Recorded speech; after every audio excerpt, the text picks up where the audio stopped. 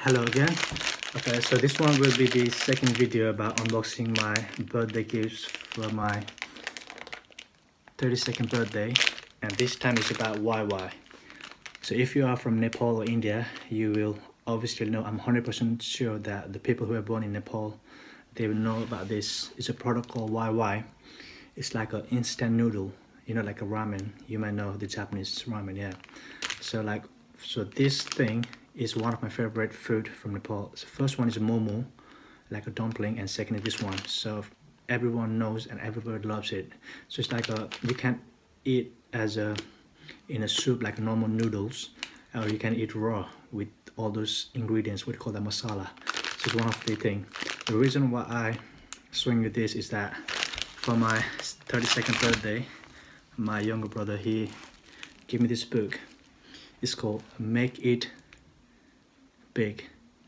And it's from so it's autobiography about Binod Chaudhary. And do you know who is that guy?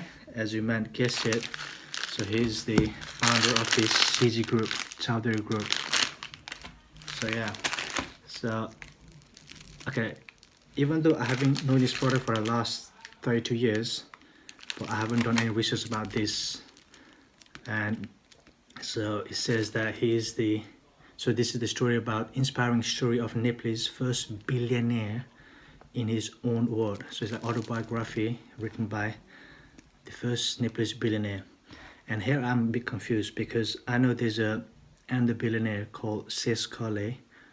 He's a Nepalese boy, he is in Australia because his his net worth is about six billion billion sterling pound. And I don't know how he's not the first, but he's the first. Maybe he's from Australia, so he's not counted. But whatever. Yeah, so I got this book. Oh yeah, by the way, that guy from Australia, Nepalese Australian guy, Shesh Ghale, he has done like some great stuff, man. And even his wife, um, I think her name is Jamuna Gurung. Yeah, same as my surname, Gurung she was she's almost like a billionaire. She have like 920 millions. So yeah she's almost billionaire. Yeah i think she will be the first nepalese billionaire. Okay so back to this book. So i'm quite excited because i did a quite research about him like a quick one from wikipedia. His age is 66 66 years old.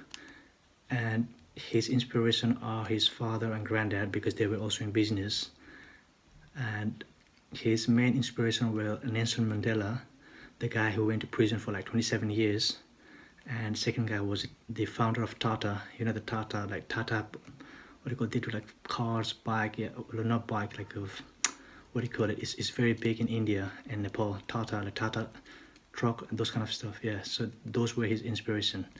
So I'm gonna read this one and the one I unboxed earlier, this Bible so I'm gonna read through this two book before I go to bed. Yeah so that's my plan so from today. First May I'm gonna go through this every single day. Uh, about the finance I have a few books to sell. So my main mentor about finance is this guy. As you might know Robert. Kiyosaki. He's from Hawaii. So he's a he's a Japanese American. So these are all the books I have got. So Dad Poor Dad you know financial intelligence cash flow quadrant guide to investment and yeah so those kind of things yeah. So every day I read like one book about cars because since I'm a car mechanic so I'm working in a garage.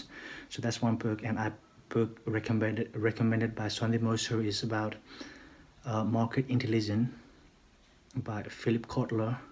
Even though it goes through my head but still I try to read at least one paragraph a day and it's not a lot but still I'm just creating the habit.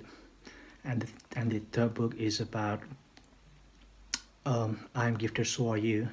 And the fourth one is this one Rich Dad Poor Dad even though I have already read this book but I still am going through that. So yeah so from 1st May so I'm gonna go through this two book every single day and learn something new that's it. Keep on learning